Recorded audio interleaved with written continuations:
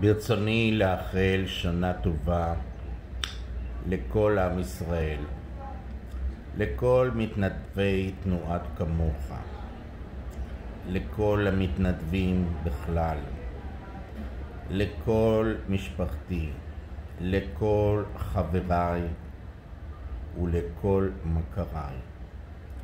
שתהא זו שנה טובה, מלאת בריאות, מלאת פרנסה, מלאת עושר ואושר. שתהיה זו שנה שנצא מהסגר של הקורונה מחוזקים. שתהיה זו שנה של נתינה ללא תנאי של ואהבת לרעך כמוך.